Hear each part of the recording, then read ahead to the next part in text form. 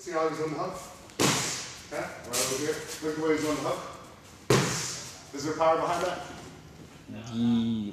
Okay, so I'm gonna have you slip. Hey, here we go. No, you got your sandbag. So if I throw across you, maybe not slip. Boom, right there. So see how he just did that? He slips. Now watch what happens. I basically throw, shoot.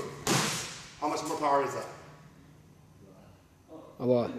You were holding fast, hell. Right? Look. It's gonna be a little bit more power because he's winding up and he's using this whole forward rotation. Uh. Right over here, in Thai boxing, depending on which trainer you talk to, we don't want to do that because once you throw that, boom, then they're gonna kick your leg. So it's better to throw with the hip. So for us, we're gonna turn around, right? Just basically dip the shoulder back. Boom, dip, then right over here. They're gonna cross. So don't turn my leg. No, no. And the reason why, because if you throw this, you turn, are you gonna be able to check that kick?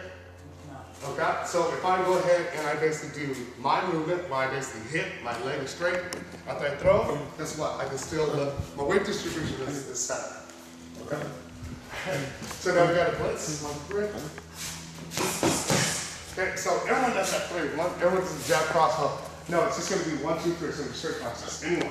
All right. Yeah, anyone. There we go. Again. Right here, cross. Okay. Yep. Yep. Yep. And then you got the kick right afterwards. There we go.